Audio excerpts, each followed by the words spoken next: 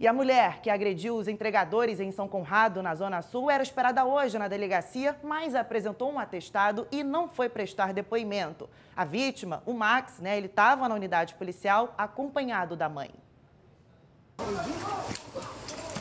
A imagem da chicotada ainda está bem viva na memória do Max e da mãe dele. O reencontro emocionado, primeiro desde o episódio, aconteceu hoje à tarde, na porta da delegacia, quando a vítima foi prestar depoimento.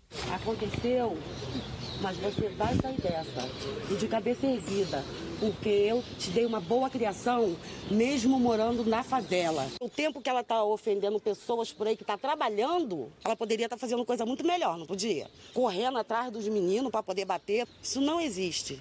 Meu filho não precisava estar passando por isso. Max Ângelo dos Santos trabalha como entregador por aplicativo de uma plataforma que tem uma base na calçada do prédio onde mora a agressora. A professora de vôlei de praia, Sandra Matias, ficou conhecida pelos entregadores que trabalham por ali. Quem da favela, filha Tá aqui, ó. Quem paga IPTU aqui sou eu, rapaz. Na semana passada, ela chegou a invadir a loja e intimidar uma funcionária. Na saída, discutiu com Max, que filmava tudo.